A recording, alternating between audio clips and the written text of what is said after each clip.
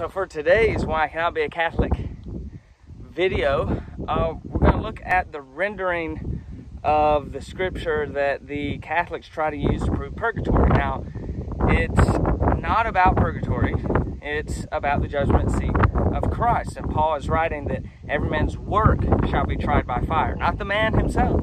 It's not about purging the man of sins, it's the work he did laid on the foundation of Jesus Christ. Uh, so you're already saved. If you're not saved, if you're not in Christ, if you're not born again, you can't do any work on the foundation of Jesus Christ. That foundation is laid at salvation, and then you build on that through the Christian life, and the works go through the fire and are purified, and then you know there's gold, silver, and precious stones in the end, hopefully, uh, for your work, so that you have a reward. The Catholics try to say that this is a, a, purgatory situation and that the person is being burned themselves, not their work, as the Bible says, but the person themselves is being burned uh, in order to be purified to get to heaven.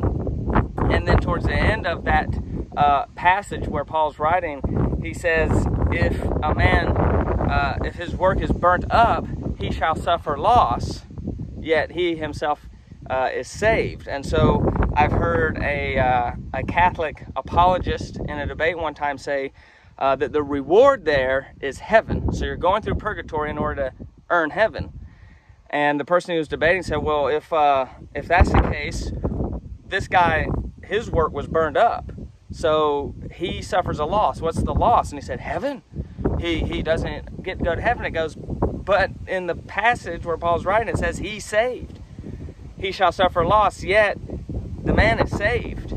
Uh, so it doesn't deal with salvation. Both of the men there, the one that gets the gold, silver, and precious jewels, and then the one whose work is burnt up and he suffers a loss, both of those men are saved. Both of, both of those men get heaven. One has a reward there for the work he did for Christ. The other one has to be ashamed because he has no reward. He, he uh, was saved, but he didn't do anything for Christ that came out the other end as a, a reward, as gold, silver, precious jewels. So that is dealing with rewards. And as usual, the Catholics have the cart before the horse, um, thinking that you're doing good works to earn your salvation, and, and then you go through purgatory to have the last bit of sin or whatever that the blood of Jesus wasn't powerful enough to, to take away from you. You go through the fires of purgatory to clean up what Jesus couldn't clean up, and then the reward you get at the end is heaven.